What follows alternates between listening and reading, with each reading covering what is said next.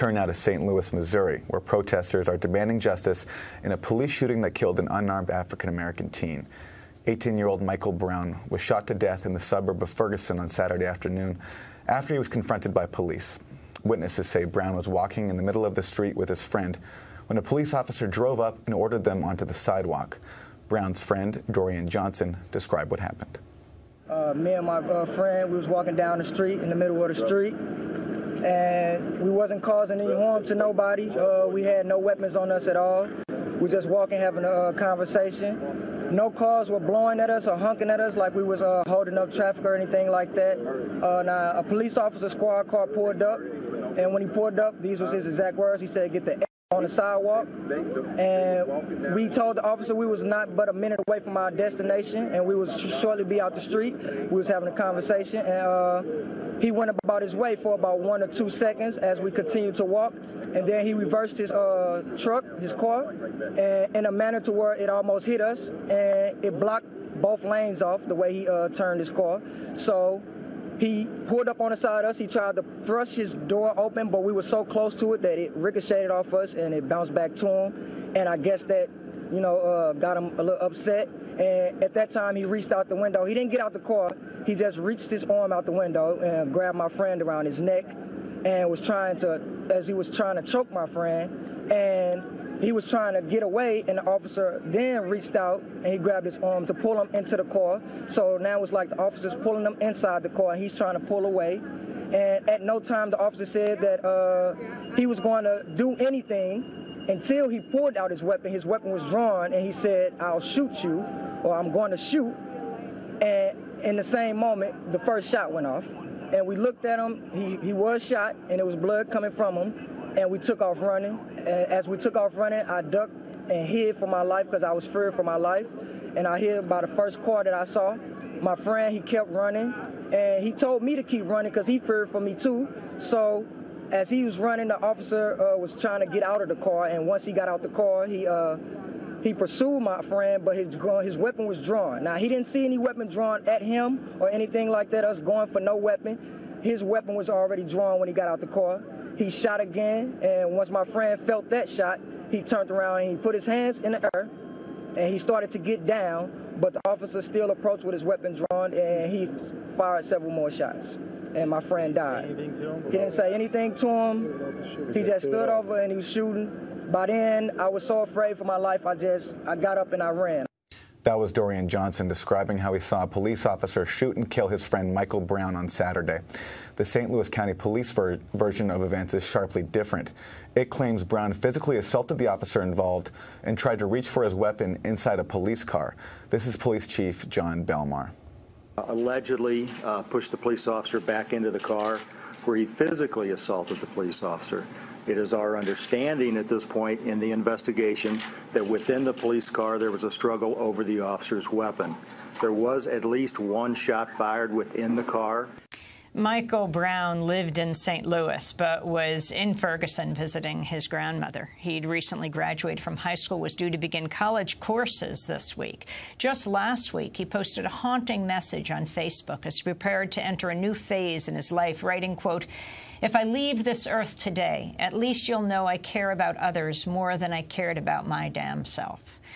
Protests began immediately after Michael Brown was shot. Police reportedly left his body laying in the street for several hours.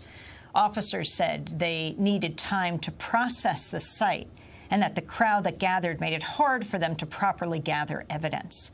Tensions escalated Sunday as protesters took to the streets again and were met by riot police with dogs. A CNN reporter caught one officer referring to the demonstrators as animals. Racial tensions and nerves on edge. Even an officer we caught on camera gave in to his rage, calling protesters animals. Listen. Bring it.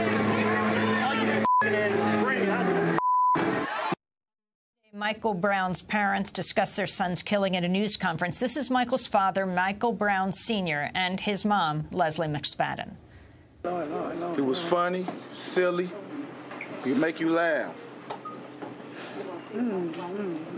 Any problems that be going on or any situation, it wasn't nothing that he couldn't solve. He'd bring people back together. Yes. He's a good boy. He didn't deserve none of this. None of it. We need justice for our son. If you have any information, please, please give it to us. He didn't deserve that, y'all. We need a police deserve none of report too. We need to know everything. We want everything. We want this done. We're gonna do this right. I don't want no violence. We don't want no violence. Because Michael wouldn't have wanted We, no violence. he, he, he, he wouldn't have wanted none of that. None of it. None of it. He would want us to do it right. That's why we're doing it right. We're gonna do it the right way. But we need justice for our son. That's my firstborn son. Everybody that know me knew how I felt about my son. I just wish I could have been there to help him. Anything. He didn't deserve that. Michael Brown's mother and father. The family is being represented by Benjamin Crump, the attorney for Trayvon Martin's family. Meanwhile, the unidentified officer who shot Brown has been put on administrative leave, and on Monday, the Justice Department announced a civil rights investigation. The FBI will continue to monitor the investigation being carried out by the St. Louis County Police Department. For more, we go directly to St. Louis, where we're joined by two guests. Antonio French is with us. He's been in Ferguson live tweeting and posting Vine videos of protests. His coverage has been widely credited for drawing national attention to the demonstrators concerned as much of the media portrayed them an angry mob. Ferguson is also uh, uh, is also a St. Louis alderman representing the 21st Ward, longtime community advocate. And we're joined by Cornell William Brooks, president and CEO of the NAACP. That's the National Association for the Advancement of Colored People. He's been in Ferguson, Missouri to support Brown's family, spoke there Monday night at a community meeting called by the NAACP where they held a moment of silence in Brown's memory. There are plans for a national moment of silence this Thursday. Cornell William Brooks, Antonio French, we welcome you both to Democracy Now! Um, Ken, I want to start with Antonio French. Three days of protests have taken place. Uh, the Justice Department says they are also going to conduct an investigation. Is it the same investigation? Will they be doing an independent investigation? The family is also calling for a separate autopsy. Tell us the latest. Well, it's been described as a parallel investigation uh, being conducted at the same time as the St. Louis County uh, investigation is going on. Uh, and I think that's what's needed. Uh, there is so little trust between the community and local Ferguson Police Department and even the St. Louis County Police Department that people really need an outside view of what's going on down here uh, in order to be able to make sure that justice is delivered. Antonio French, I'm looking at some uh, stats here. It says uh, last year, black Missourians were 66% more likely to be stopped by the police. Can you put this, this shooting, this killing, in that context? Well, the context is that uh, there is tension that's been around for uh, years. Uh, this has been uh, growing, and I think this Michael Brown incident is what has caused it to boil over.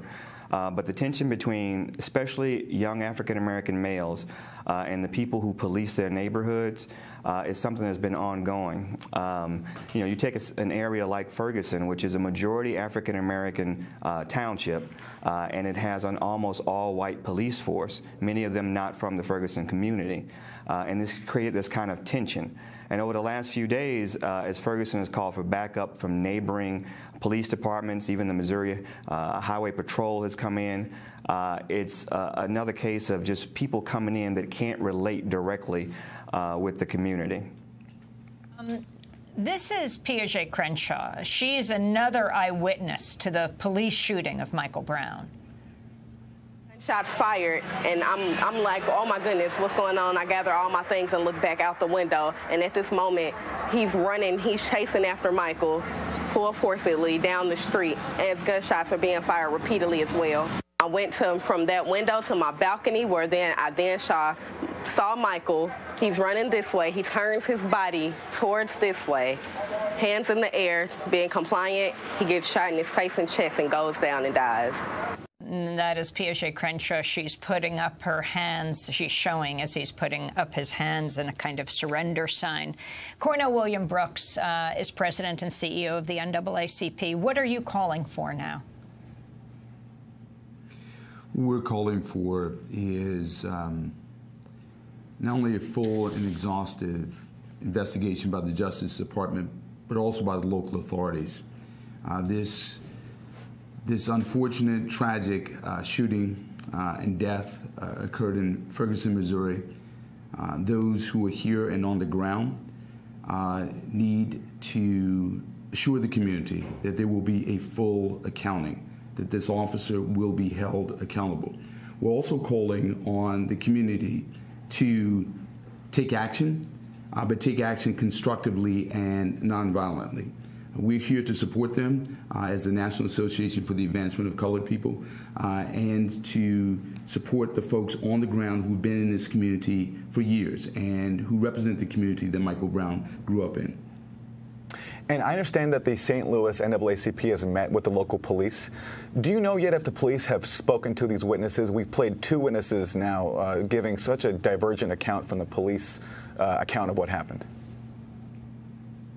Well, what I'm aware of is that the St. Louis president, Mr. Pruitt, has spoken to these witnesses uh, in conjunction with the Justice Department, and that in, at the, the NAACP is uh, assisting uh, this effort in terms of bringing forward witnesses who have uh, credible testimony uh, and offering a safe space for them to come forward. Uh, it's important that we preserve the integrity of this testimony, that we convey to the community that uh, it is safe to come forward, and that what you say, any evidence that you may provide, will be taken seriously. Uh, and to the extent that the NAACP represent, represents a, a trusted vehicle, we are uh, happy to do that under very difficult and sad circumstances. This is St. Louis County Police Chief John Bell-Morgan speaking Monday about how police responded to the demonstrations over the weekend. We really felt like that with the emotions running as high as they were with the, with the uh, shooting the previous day of uh, Mr. Brown, that we didn't want to add to any of that. So uh, later in the afternoon, it became very clear that special operations from the county was going to have to deploy, and they in fact did. Uh, that is the St. Louis County Police Chief Jon Belmar. Uh, Antonio French, I wanted you to describe more what is happening on the streets and how you, as a St. Louis alderman, one of the youngest, decided to get so deeply involved with this. You are nonstop tweeting, uh, sending six-second videos uh, all through these protests. Yeah, um, and so um, it really started just hours after um, Mike Brown was killed uh, even while his body still laid on the ground. Uh, the local newspaper here uh, ran a quick story with a headline that um, uh, police shooting leads to mob reaction. Uh, and uh, that offended me, frankly. it was not a mob reaction, it was a justified community reaction, I felt. Uh, and knowing how local media sometimes treats these situations. Uh, I have a background in journalism, so I grabbed my iPhone and uh, ran down there. Uh, when I arrived, um, by that time, uh, Mike Brown's body had laid on the ground for close to four hours. Um, police had separated um, citizens and Mike Brown's mom and family members uh, from the site. She was angry and hysterical in the street. Uh, no one from the police department came to uh, offer any information to her about the condition of her son, what had happened to her son, would not let her uh, identify her son's body uh, and there became a, a, standoff. So the tone of what's happened the last few days was set uh, in the hours following the killing. Uh, police formed a, a, barrier, a human barrier of police officers. There was a standoff between the community, and um, and luckily we didn't have any violence that night. People were patient. They were uh, hopeful that the next day at the press conference, which was announced, that there would be some um, some hope of justice being served, that some information would be given uh, to the family.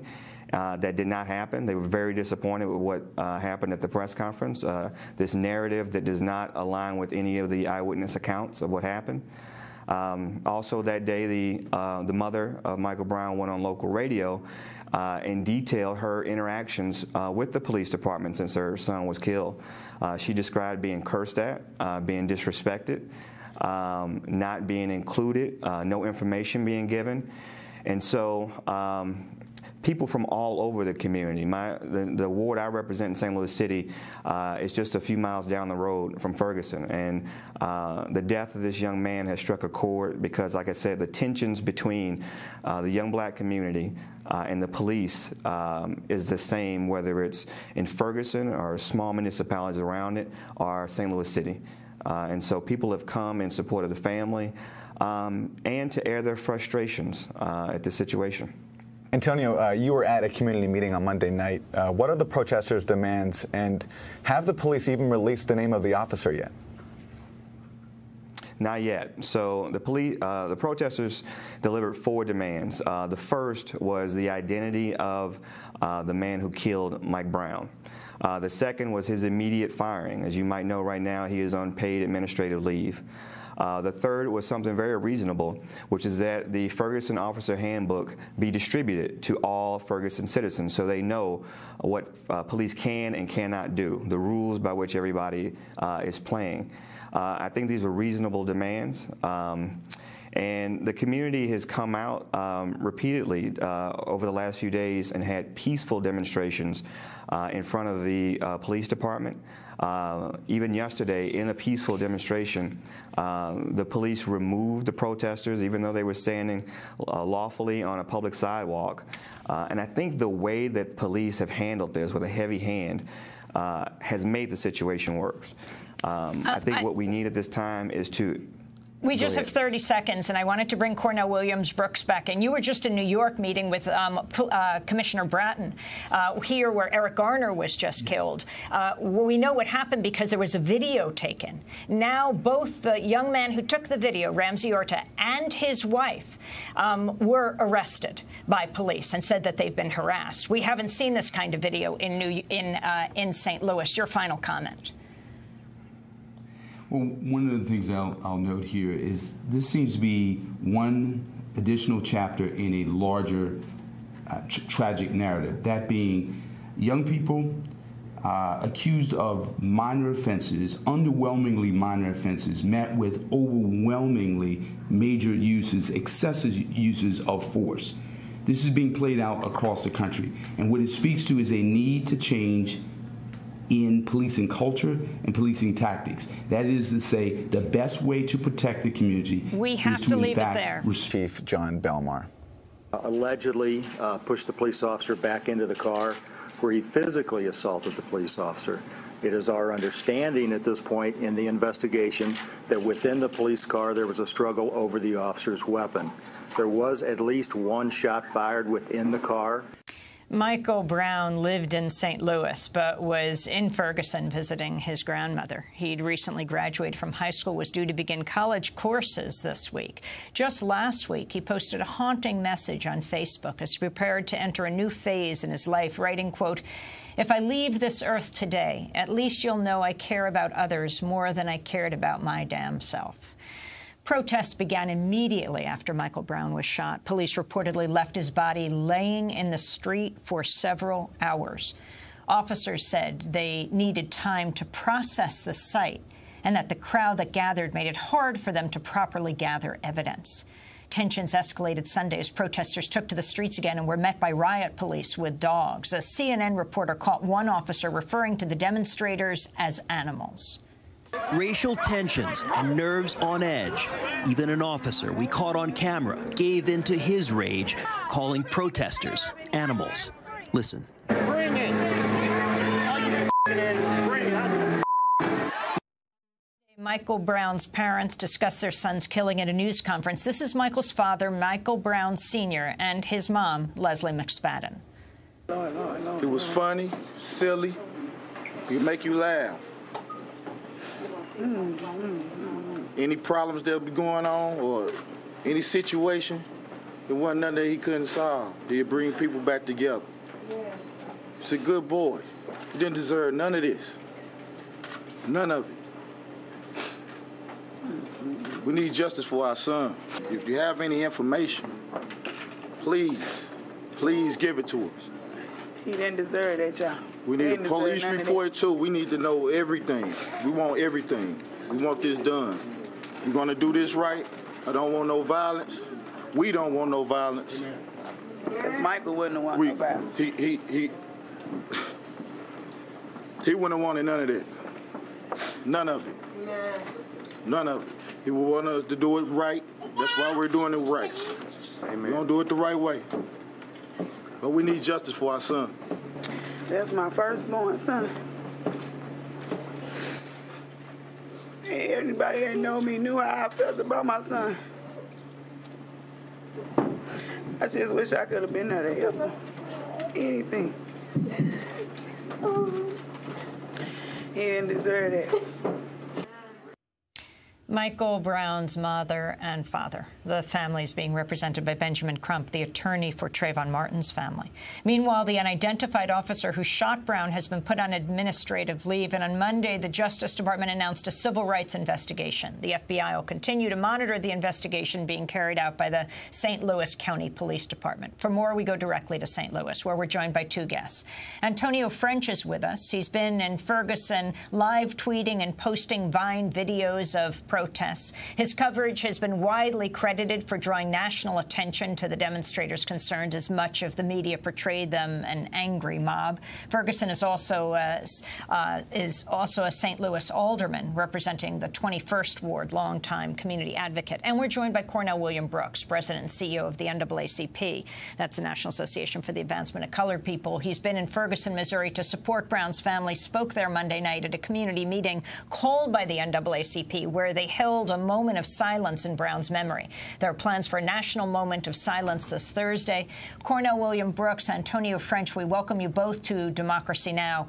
Um, Ken, I want to start with Antonio French. Three days of protests have taken place. Uh, the Justice Department says they are also going to conduct an investigation. Is it the same investigation? Will they be doing an independent investigation? The family is also calling for a separate autopsy. Tell us the latest. Well, it's been described as a parallel investigation uh, being conducted at the same time as the St. Louis County uh, investigation is going on. Uh, and I think that's what's needed. Uh, there is so little trust between the community and local Ferguson Police Department and even the St. Louis County Police Department that people really need an outside view of what's going on down here uh, in order to be able to make sure that justice is delivered. Antonio French, I'm looking at some uh, stats here. It says uh, last year, black Missourians were 66% more likely to be stopped by the police. Can you put this, this shooting, this killing, in that context? Well, the context is that uh, there is tension that's been around for uh, years. Uh, this has been uh, growing, and I think this Michael Brown incident is what has caused it to boil over. Uh, but the tension between, especially young African American males, uh, and the people who police their neighborhoods uh, is something that's been ongoing. Um, you know, you take a, an area like Ferguson, which is a majority African American uh, township, uh, and it has an almost all-white police force. Many of them not from the Ferguson community, uh, and this created this kind of tension. And over the last few days, uh, as Ferguson has called for backup from neighboring police departments, even the Missouri uh, Highway Patrol has come in. Uh, it's uh, another case of just people coming in that can't relate directly uh, with the community. Um, this is Piaget Crenshaw. She's another eyewitness to the police shooting of Michael Brown shots fired and I'm I'm like, oh my goodness, what's going on? I gather all my things and look back out the window and at this to describe more what is happening on the streets and how you as a St. Louis alderman, one of the youngest, decided to get so deeply involved with this. You are nonstop tweeting, uh, sending six-second videos uh, all through these protests. Yeah, um, and so um, it really started just hours after um, Mike Brown was killed uh, even while his body still laid on the ground. Uh, the local newspaper here uh, ran a quick story with a headline that um, uh, police shooting leads to mob reaction. Uh, and that offended me, frankly. it was not a mob reaction, it was a justified community reaction, I felt. Uh, and knowing how local media sometimes treats these situations. Uh, I have a background in journalism, so I grabbed my iPhone and uh, ran down there. Uh, when I arrived, um, by that time, uh, Mike Brown's body had laid on the ground for close to four hours. Um, police had separated um, citizens and Mike Brown's mom and family members uh, from the site. Uh, she was angry and hysterical in the street. Uh, no one from the police department came to uh, offer any information to her about the condition of her son, what had happened to her son, would not let her uh, identify her son's body. Uh, and it became a, a, standoff. So the tone of what's happened the last few days was set uh, in the hours following the killing. Uh, police formed a, a, barrier, a human barrier of police officers. there was a standoff between the community, and um, and luckily we didn't have any violence that night people were patient. They were uh, hopeful that the next day at the press conference, which was announced, that there would be some um, some hope of justice being served, that some information would be given uh, to the family. Uh, that did not happen. They were very disappointed with what uh, happened at the press conference. Uh, this narrative that does not align with any of the eyewitness accounts of what happened. Um, also, that day, the uh, the mother of Michael Brown went on local radio uh, and detailed her interactions uh, with the police department since her son was killed. Uh, she described being cursed at, uh, being disrespected, um, not being included, uh, no information being given. And so um, people from all over the community. My, the, the ward I represent in St. Louis City uh, is just a few miles down the road from Ferguson. And uh, the death of this young man has struck a chord because, like I said, the tensions between uh, the young black community uh, and the police um, is the same whether it's in Ferguson or small municipalities around it or St. Louis City. Uh, and so people have come in support of the family um, and to air their frustrations uh, at the situation. Antonio, uh, you were at a community meeting on Monday night. Uh, what are the protesters' demands, and have the police even released the name of the officer yet? Not yet. So the police, uh, the protesters delivered four demands. Uh, the first was the turn now to St. Louis, Missouri, where protesters are demanding justice in a police shooting that killed an unarmed African American teen. 18-year-old Michael Brown was shot to death in the suburb of Ferguson on Saturday afternoon after he was confronted by police.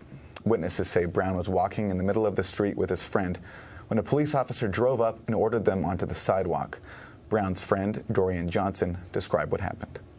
Uh, me and my uh, friend, we was walking down the street in the middle of the street, and we wasn't causing any harm to nobody. Uh, we had no weapons on us at all. We just walking, having a conversation. No cars were blowing at us or honking at us like we was uh, holding up traffic or anything like that.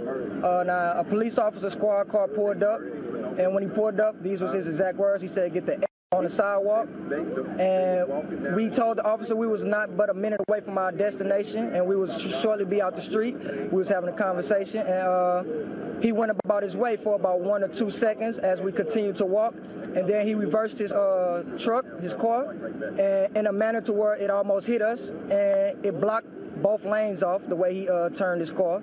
So he pulled up on the side of us. He tried to thrust his door open, but we were so close to it that it ricocheted off us and it bounced back to him. And I guess that, you know, uh, got him a little upset. And at that time, he reached out the window. He didn't get out the car.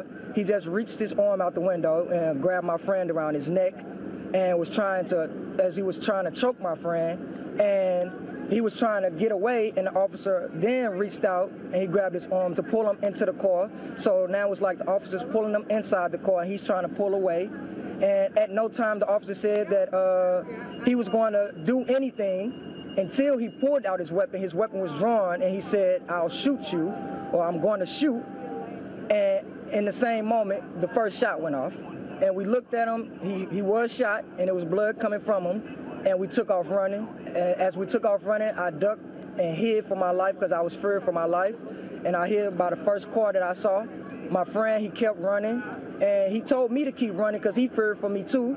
So as he was running, the officer uh, was trying to get out of the car, and once he got out the car, he uh, he pursued my friend, but his his weapon was drawn. Now he didn't see any weapon drawn at him or anything like that. Us going for no weapon. His weapon was already drawn when he got out the car.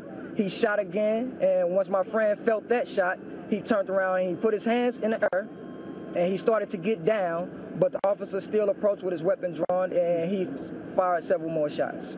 And my friend died. He didn't say anything to him. He just stood over and he was shooting. By then, I was so afraid for my life, I just, I got up and I ran. That was Dorian Johnson describing how he saw a police officer shoot and kill his friend Michael Brown on Saturday.